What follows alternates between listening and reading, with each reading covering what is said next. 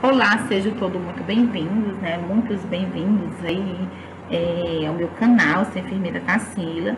É, vou falar sobre raciocínio lógico matemático da Banca Fundação Instituto Vargas do ano 2010.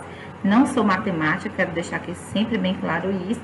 Então, vai ter momentos que eu não vou falar matematicamente correto, mas irei falar de maneira brutalmente, matematicamente, né? Que dê para compreender, tá? Então, aqui somos nós, a equipe, enfermeira Tarsila, doutora Cristiane Colares, doutor Fábio do Coração, a gente fez né, esse material para vocês. E Jefferson Caprone, Milton Gomes, né? Eles são a nível nacional, né? Nós somos de um movimento, né? O movimento dos ativistas da enfermagem do Ceará. Então, vou apresentar, né? Sou Tarsila Rabelo. Então, é, curte meu canal, né?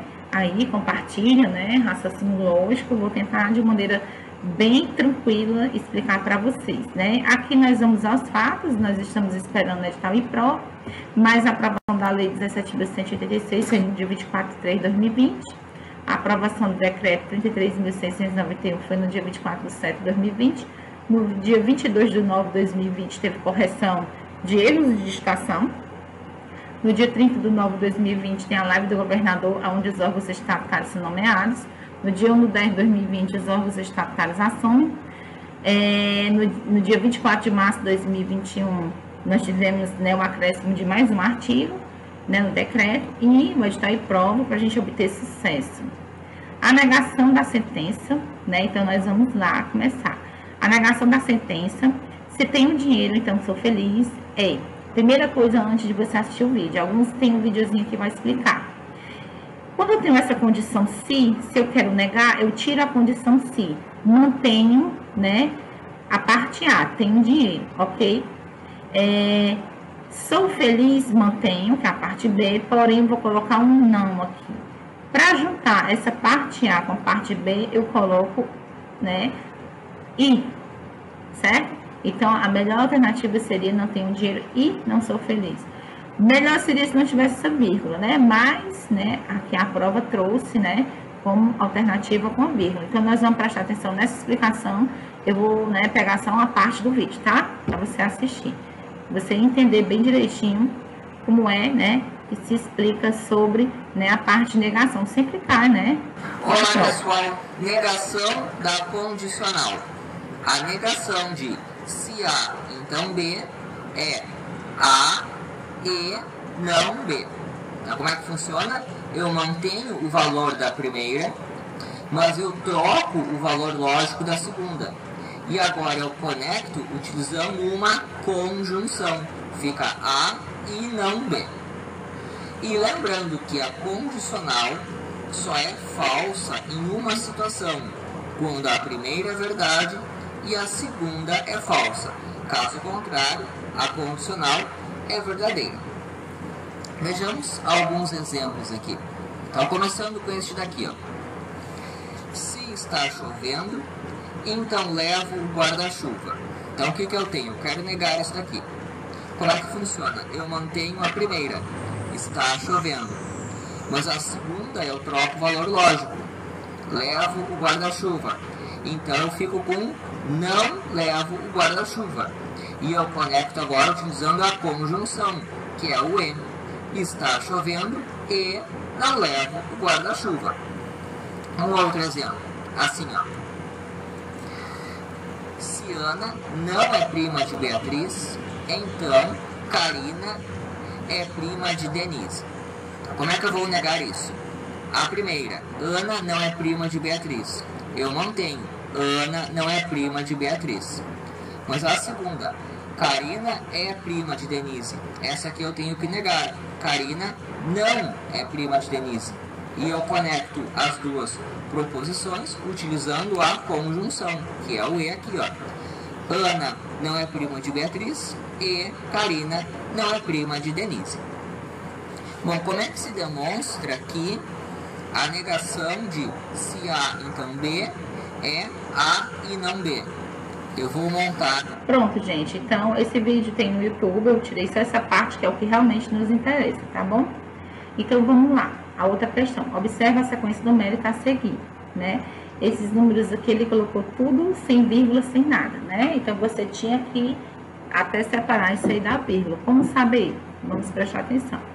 Mantida a lei de formação dos dois próximos algarismos, na sequência serão. Não sei se você percebe, é... 1 mais 2, 3. 3 mais 2, 5. Um número par. Aí depois do 5 é o 7. 7 mais 2, 9. 9 mais 2, 11. Outro número par. Do 11 vai para o 3. 13 mais 2, 15. 15 mais 2, 17. E aí o número par. Então, de 3 em 3 números ímpares, eu tenho um número par, certo? Então, eu coloquei né, com vírgula, certo? O que é que acontece? Então, vamos lá.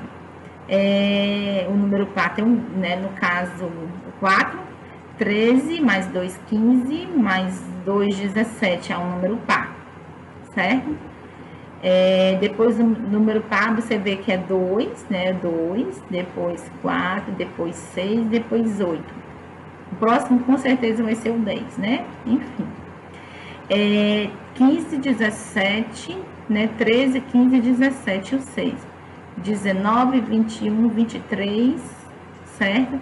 O próximo número ímpar que vai vir é qual? É o 25, tá? A explicaçãozinha tá toda aqui, tá bom para você? Então, dê uma pausa, dê uma lida, tá? Tranquilamente, é super tranquilo. 23 mais 2 dá 25, o próximo número após o 8, né? Após o número par, ok? Aqui é uma explicação tranquila. Antônio Bernardo, Caetano, Dari Eduardo. É, a gente colocou aqui a letrinha de cada um. A, B, C, D, E. Antônio, Bernardo, Caetano, Dari Eduardo. Estão respectivamente sobre os vértices A, B, C, D e E. De um pentágono regular, onde os vértices aparecem nesta ordem, nessa ordem, no sentido horário. Em determinado momento, Bernardo, Caetano, Dari Eduardo, B, C, D e E, eles vão se direcionar ao Antônio, né? Ok? Sendo que é, essas distâncias percorridas, respectivamente, por esses rapazes do BCDE, que é Bernardo, Caetano, Dário Eduardo, tem-se que. Então, vamos perceber que Bernardo e Eduardo vão percorrer o mesmo caminho, certo? B e S são iguais. Caetano e Dário também vão percorrer o mesmo caminho. Então, B e E é igual. C e D são igual. Ou E e B são igual, ou D e C é igual. Tanto faz, tá? A ordem aqui, no caso, a chegada vai ser a mesma desses dois, como desses dois. Pelas alternativas, o que eu tenho? Que o caminho B e E, certo? Ele é menor que o caminho D e C. Esse caminho do E até o A é menor o D para o A é um caminho maior, né? Não? Então, a única alternativa que fala sobre isso é a alternativa C de casa. Aqui tem uma explicaçãozinha para você, né? A usar ele aí, tá bom? Aqui, é, não, eu não fiz cálculo, aqui eu fiz de maneira bruta mesmo, certo? É, há seis contêineres diferentes que deverão ser empilhados. Três mais pesados embaixo e três mais leves em cima, conforme, né, sugere a figura. Por quê? Porque os mais pesados vão ter que ficar embaixo? Porque acabaria com os mais leves, não é isso? Então, o número de maneiras de se fazer essa arrumação, né? Mantendo os três mais pesados embaixo, os três mais leves em cima é. Então, primeiro eu vou fazer um arranjo, né? Eu vou, não vou usar a fórmula. Então, se eu tenho três leves, um dos três fica aqui, a probabilidade de colocar os três aqui. Se eu usei já um, sobrou dois, coloco um dos dois aqui e deu, sobrou só um. Então, 3 vezes 2 vezes 1, como eu fiz aqui o cálculo, dá 6. A probabilidade de eu colocar 3 com tênis pesado, um dos três aqui, né? Então, a proporção aqui pode ser 3. Sobrou um, já coloquei um aqui, sobrou dois, coloco dois, né? É, pode ter duas, duas probabilidades. E aqui só vou ter um, né? Porque eu já usei um aqui e um aqui. Então, 6 vezes 6 dá 36 formas de permutar todos os contêineres, então a alternativa correta seria a de dado.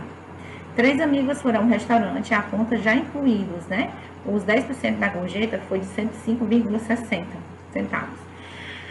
105 reais 60 centavos. Se eles resolveram não pagar os 10% de gorjeta, pois acharam que foram mal atendidos e dividiram o pagamento igualmente pelos três, cada um deles pagou a quantia de. Então, vamos lá. Era 105 reais. Eu tenho que saber quanto é 10% de 105. né? Então, vai ser R$10,56. Então, para eu saber quanto é que eles vão pagar sem pagar os 105, que é incluído na gorjeta, então eu pego é, 10, R$10,56 menos 105,60, vai dar R$ 95,04, né? No total. Só que aí são três amigos, vão dividir por igual, certo? Pagar, né, é, por igual, igualmente, ok? Então, pego R$ 95,04, dividido para 3, vai dar R$ 31,68. A resposta qual seria? No gabarito da questão está a letra C, de casa, e essa questão não foi anulada até aonde eu pesquisei, a não ser que ela foi, eu errei a pesquisa. Mas, gente, a resposta mesmo seria a letra A, R$ 31,68. Eu não sei porque que nessa prova de 2010 não foi anulada essa questão. Não sei se alguém prestou atenção, não prestou atenção, enfim, tá? Então, é, o cálculo, pelo menos o meu cálculo deu a letra A, tá? Enfim, se alguém tiver algum outro cálculo que dê 32, eu agradeço. Um container, certo? Essa aqui vai precisar de vários cálculos, certo? É, tem 40 pés de medidas internas, de aproximadamente 2,03 metros, 2,28 de largura e 2,34 de altura e suporta uma carga de 26.527 quilos. Há uma carga com grande quantidade de caixas rígidas que podem ser empilhadas com dimensões externas de 1,70 por 0,70 metros e 1,10 né, de altura e pesando 650 quilos cada uma.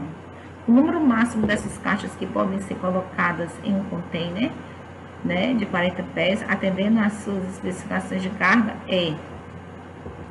Aqui, gente, é o seguinte: eu fiz o cálculo primeiro, se uma caixa é 650 quilos, conforme ele diz aqui, né, cada uma, então esse peso total eu vou colocar X caixas. Então o valor das caixas vai ser 40,8 caixas. 40,81. 40, Só que eu não posso colocar para mais, gente. Por quê? Porque eu não sei se vai caber. É, matematicamente eu aproximo para mais, né? Pela lógica. Mas eu vou manter 40 caixas. Pelo menos por enquanto. Se eu achar que precisa aproximar para 41, beleza. Porque a gente nunca sabe. É um espaço, né? Para não arriscar. 40,81, né? É, eu vou deixar em 40, tá? É, eu posso eliminar a 42 e a 41, ficar só entre 39, 38 e 40, tá? Enfim, mas mesmo assim nós vamos continuar, ok? É, então, vamos lá.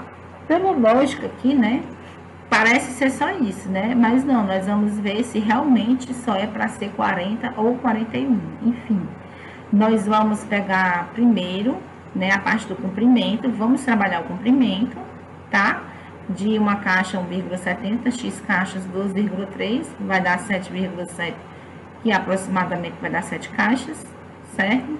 Analisando a largura também agora, nós vamos fazer a largura, né, de uma, né, de uma caixa rígida, né, para um container. Fazendo essa multiplicação, vai dar 3,25, que é 3 caixas. Nós vamos fazer a altura agora, fazendo a multiplicação, vai dar 2,12 aproximadamente para duas caixas. Então, nós vamos pegar o resultado que deu 7 vezes 3 vezes 2, vão dar 42 caixas. Agora, preste atenção. Multiplicando isso aqui, deu 42 caixas. Por que que a gente vai manter, né, não 42? Então, vamos ler. Assim, pelo volume, cabem 42 caixas. Pelo volume, cabe 42 caixas no container. Ocorre que pelo peso cabem apenas 40 caixas. Ficamos então com um número menor que 40 caixas. Por que, que eu não aproximo para 41 aqui, professora? Matematicamente estou aqui injuriada. Gente, por conta do peso. É só por conta disso. Se for para passar um pouquinho a mais, não dá. Entendeu? Então é melhor manter um pouquinho a menos do que um pouquinho a mais. Então a resposta correta seria 40 caixas, tá? Ok? Aqui é, é tranquilo, amei essa questão, bem facinho. De um conjunto de 18 cartas, baralho tem 52, certo? Mas no caso aqui ele só diz que tem 18. Só que vai ter só copas ou ouros, copas ou ouros, certo? Então, de um baralho, sabe-se que pelo menos uma é copas, uma é copas, certo? Dada duas quaisquer dessas cartas, pelo menos uma delas é ouro. Então, ele diz que uma é copa e a outra é ouro. Pelo menos uma é copa, pelo menos uma é ouro, certo? Só que são 18. Então, tem 16 aí para eu saber se ela é copa ou se ela é ouro. Porque se for copa, iam ser 17 copas.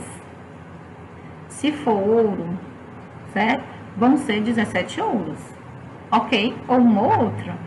Porque o que tem 9, o que tem 12, não importa. Então, é show de bola. 17 são ouros. Não tem o que... Né? Ou é um é outro, entenderam? Né? Como assim, ó? Presta atenção. Copas, né? São 18. Se eu, se eu digo que é uma copas, então sobra 17. Ok? É, se ele diz que pelo menos uma é ouro, então sobra 16. Só que como só tem duas opções, então esse 16 vai somar ou com uma ou com outra para fazer 17 de novo. Então a letra dele não tem nem o que dizer. Há três caixas A, B e C. Aqui eu coloquei só simbologia, só que é 10, 10 bolinhas de cada, tá? Aqui eu coloquei só porque eu gostei dessas bolinhas aqui. Há três caixas A, B e C. Na caixa A, há pelo menos 10 bolas amarelas, na caixa B também 10 bolas azuis e na C 10 bolas vermelhas. São retiradas aleatoriamente 5 bolas da caixa A. Se eu tiro 5 para colocar na B, sobra 5 amarelos. Então a letra A está errada. A, no mínimo 6 bolas amarelas, está errada, certo? Enfim, vamos continuar. É, são retiradas aleatoriamente 5 bolas na caixa A e colocadas na caixa B. Então, na caixa B tem o que? 5 bolas amarelas e 10 bolas azuis, ok? Continuando. A seguir, são retiradas aleatoriamente 5 bolas da caixa B e colocadas na caixa C. Na caixa C, vai o que? Ou vai só bola amarela, ou vai só bola azul, ou vai misturada amarela com azul, certo? Fora as 10 bolas vermelhas que tem lá. Finalmente, são retiradas aleatoriamente cinco bolas da caixa C e colocadas na caixa A. Então, ao final, tem-se. Na caixa A, no mínimo seis bolas amarelas? Não. Na caixa B, no máximo, não posso dizer no máximo, cinco bolas azuis? Não sei, né? Pode ser que sim, pode ser que não, tá? Então, se eu for tirar é, cinco bolas, no caso, vou tirar cinco bolas aqui certo? Essas cinco bolas eu pego só as amarelas coloco na C. Então, não vou dizer que no máximo só tem cinco bolas azuis, está errado. Na caixa C, há no mínimo uma bola amarela. Pode ser que tenha mais que uma, e aí? Na caixa A, há no mínimo uma bola vermelha. Pode ter uma, pode ter duas, enfim. Então, é o jeito de ficar com a última opção, né? A última opção, né? Então, na caixa C, há no máximo cinco bolas azuis. Pode ser que tenha, né? cinco bolas azuis, sim, tá? Né? Então, entre todos aqui, a menos errada é a E, tá? Então, tá aqui a explicação, certo? É... Então, ela é impossível ela ter mais cinco bolas dessa cor, né? É azul. Então, tá aqui a explicação, você pausa e lê esse, esse, essa explicação. Há três caixas aqui, né? Então, a letra E. Essa da porta aqui é show de bola, fica doidinho. Em cada uma das cinco portas, A, B, C, D e E, está escrita uma sentença com forma a seguir. Eles adoram fazer questão assim, viu? Adoram. Porta A, eu sou a porta de saída. B, a porta de saída é a porta C. Então, já está contrariando a porta A. A porta C. A sentença escrita na porta A é verdadeira. Opa, já está contrariando o B. Entendeu? Eu fico meio confusa aí. Então, né? Já não, eu não dou fé nenhuma dessas três, vamos para D. Se eu, se eu sou a porta de saída, se tem a condição, né? Então a porta de saída não é a porta E. Então tá dizendo que a porta E não é a porta de saída, mas tá dizendo que pode ser, né? Se eu sou. Que pode ser que sim, pode ser que não. Aí, eu não sou a porta de saída. Eu vou ser sincera. Quem foi mais sincero de tudinho aí foi a porta E. A porta E foi a, o mais sincero de todos, certo? Então, é, sabe-se que dessas cinco sentenças há uma única verdadeira. Para mim, o mais verdadeiro foi a porta E. Que é somente a porta de saída. A porta de saída é a porta E, gente. Então, compara essas sentenças né, das portas D e E. A sentença da porta D é do tipo condicional, certo? O único modo de uma sentença condicional ser falsa é quando P é verdadeiro e Q é falso. No exemplo, Q é igual à porta de saída, não é a porta E. Se considerarmos, por hipótese, que a sentença da porta E seja verdadeira, então Q fica sendo verdadeiro, logo a sentença da porta D também fica verdadeira, né? É, mas, enfim, se você não soubesse isso aqui, tá?